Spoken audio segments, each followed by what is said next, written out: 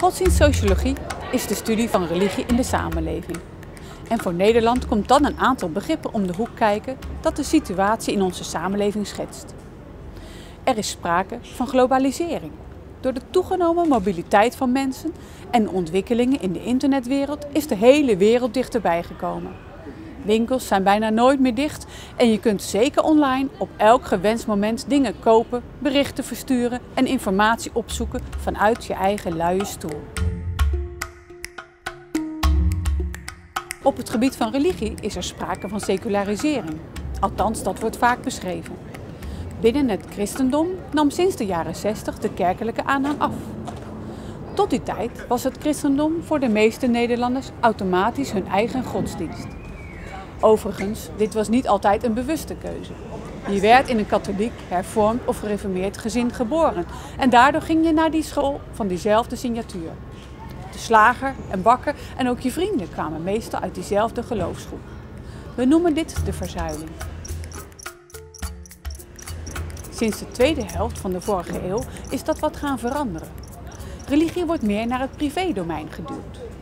Vrijheid van godsdienst betekent vooral ook dat het nergens mag doorklinken wat je voor keuzes maakt op basis van je geloof. Tegelijk dringt zich de vraag op hoe waar dat eigenlijk is.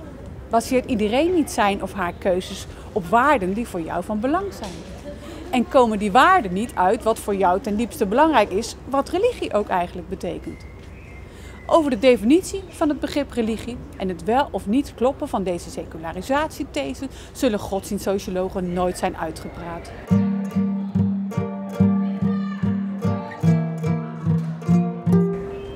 Er is in ons land een grote pluriformiteit van religies. Met de komst van gastarbeiders, immigranten en vluchtelingen zijn er veel verschillende religies en culturen in ons land gekomen. In de grote steden, waar het meeste werk is en men elkaar treft, wonen ook de meeste niet-autochtone Nederlanders. Zij nemen elk hun eigen religie mee. En zeker wanneer men in een onzekere situatie komt, kan dat betekenen dat religie juist een herkenbare onderling verbindende factor vormt in groepen uit eenzelfde land van herkomst. Het maakt de overgang naar een land met een andere cultuur gemakkelijker. We noemen dit cultural transition. Wanneer groepen met een andere culturele achtergrond zich bedreigd voelen, en dan vooral op voor hun belangrijke waarden, zal religie juist een extra verdedigende functie krijgen. Er ontstaat cultural defense. Ook in het land waar men zich vestigt, wordt hierop met deze mechanismen gereageerd, waardoor Nederlanders zich soms juist meer christelijk voelen of vinden dan 50 jaar geleden. Dat veel van de normen en waarden in ons land gebaseerd zijn op die christelijke wortels, is trouwens voor veel mensen onbekend geworden. Dat komt bijvoorbeeld door het proces van ontkerkelijking, wat zich eveneens sinds de jaren 60 heeft ingezet. Er komen steeds minder mensen in de kerk en kinderen groeien op zonder de kerk en haar basiswaarden van binnenuit te kennen. Dat is een andere vorm van secularisatie die niet te ontkennen valt in onze samenleving.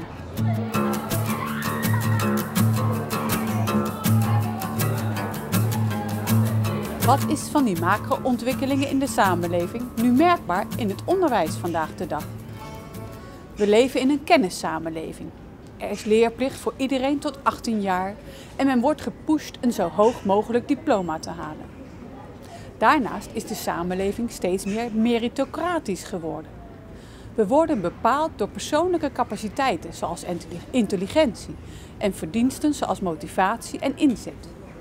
Dat lijkt wel mooi, iedereen wordt gestimuleerd zijn talenten te benutten, maar de keerzijde is natuurlijk dat als je niet een hogere opleiding haalt, je dit geheel aan jezelf te danken zou moeten hebben.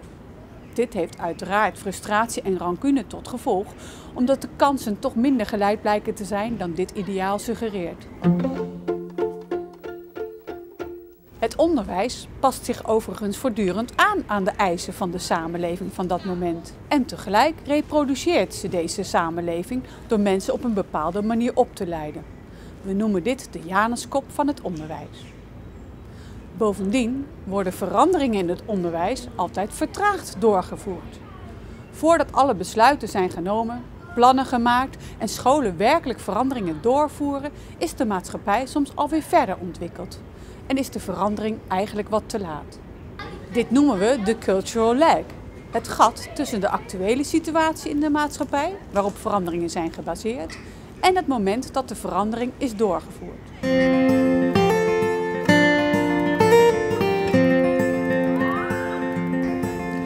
Op dit moment merkt men in de politiek dat mensen die van de middelbare school komen meer persoonsvorming zouden kunnen gebruiken. Ze zouden beter voorbereid moeten zijn op de pluriforme samenleving. Goede burgers kunnen ze zijn met meer gedeelde normen en waarden. Vandaar dat er nu voorstellen komen om meer aan beelddoen te doen, aan de vorming van de gehele persoon van de scholier en niet alleen, of in elk geval minder, aan het cognitieve deel. Het meer traditionele hoofdleren, zeg maar. Er moet aandacht komen voor vaardigheden die mensen in deze 21ste eeuw nodig hebben. Dat worden dan ook 21st century skills genoemd. Denk hierbij aan vaardigheden als computergeletterdheid, creativiteit en kunnen samenwerken.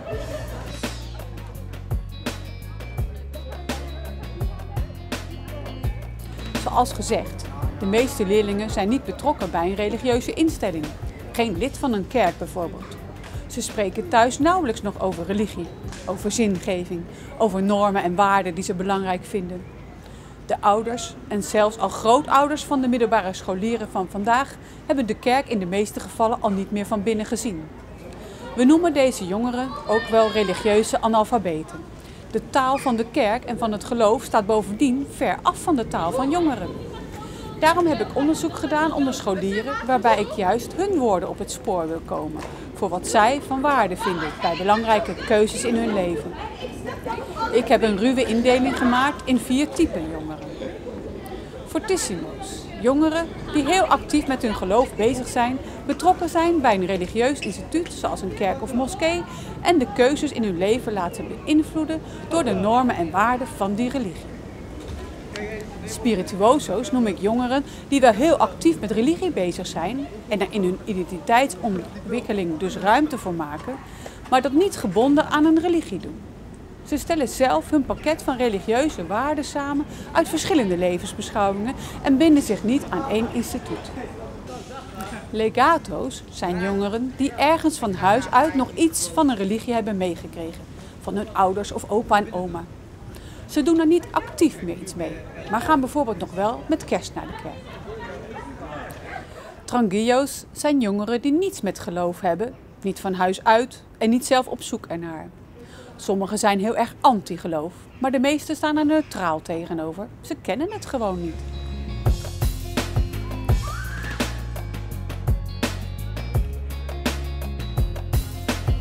Het voortgezet onderwijs bestaat overigens voor meer dan de helft nog wel uit bijzondere scholen, gebaseerd op die oude zuilen en dan aangevuld met islamitisch en hindoeïstisch onderwijs. Dat betekent echter niet dat de leerlingen op die betreffende scholen ook dezelfde religieuze achtergrond als de school hebben. Nog dat ze het expliciet belangrijk vinden dat de school die bepaalde signatuur heeft. Bij het kiezen voor een middelbare school zijn andere zaken veel belangrijker, zoals de afstand, de goede naam en kwaliteit van het onderwijs, het feit of er familie of vrienden al op de school zitten enzovoort. Wat betekent het dan eigenlijk dat een school katholiek of protestants is? Staat het alleen op de gevel of heeft het betekenis in de keuzes die binnen het beleid van de school gemaakt worden? De vakken die worden gegeven, de manier van omgaan met elkaar.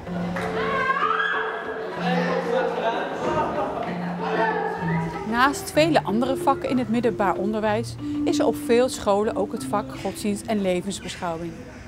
Juist daar zal deze verschuiving van een verzeilde samenleving naar een seculiere merkbaar zijn en besproken moeten worden. Het vak heet niet overal hetzelfde en er is regelmatig discussie of het vak eigenlijk wel op school thuis hoort, zowel binnen confessionele scholen als op openbare scholen. De ontwikkelingen in de samenleving en het geweld dat met religie geassocieerd wordt, maken dat juist op de middelbare school daarover het gesprek moet plaatsvinden.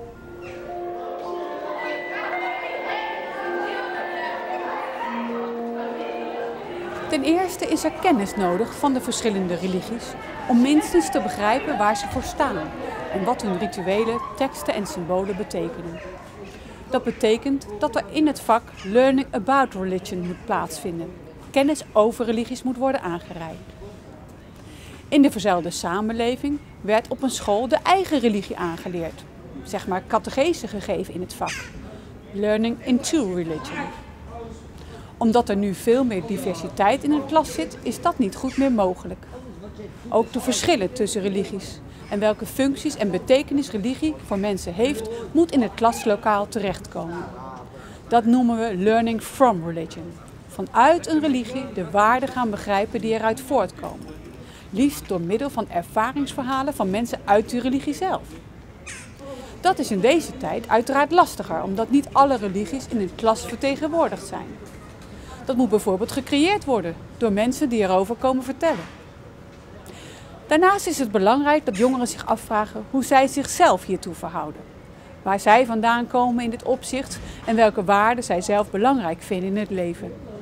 Zo leren jonge mensen dieper doordenken over de waarden van mensen en over hun eigen verhaal daarin en de koppeling naar grote verhalen uit diverse tradities.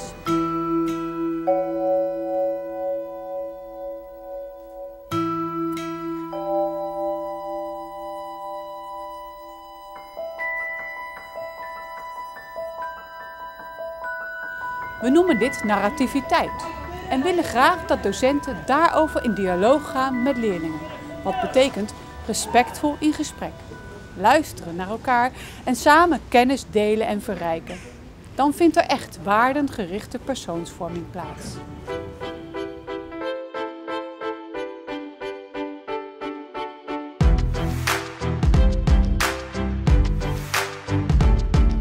Wij leiden docenten godsdienst en levensbeschouwing op.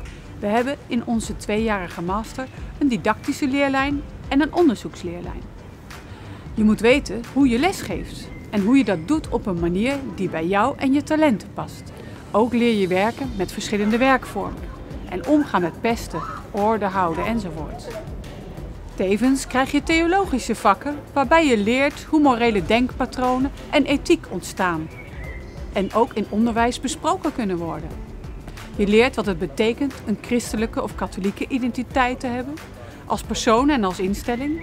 En je leert de vertaalslag te maken van wat er in de samenleving gebeurt naar de traditie en vice versa. Dat noemen we hermeneutiek. Ook leer je wetenschappelijk onderzoek doen en met een academische bril kijken naar wat zich in de maatschappij afspeelt en in het educatieve werkveld in het bijzonder. Wij hopen dat je een docent wordt die vanuit zijn of haar eigen wortels lesgeeft, gedreven en gepassioneerd is en bij leerlingen het gesprek aandurft over wat nu je diepste waarden zijn. Ruimte maken om het verhaal van elkaar te horen, te begrijpen en te delen.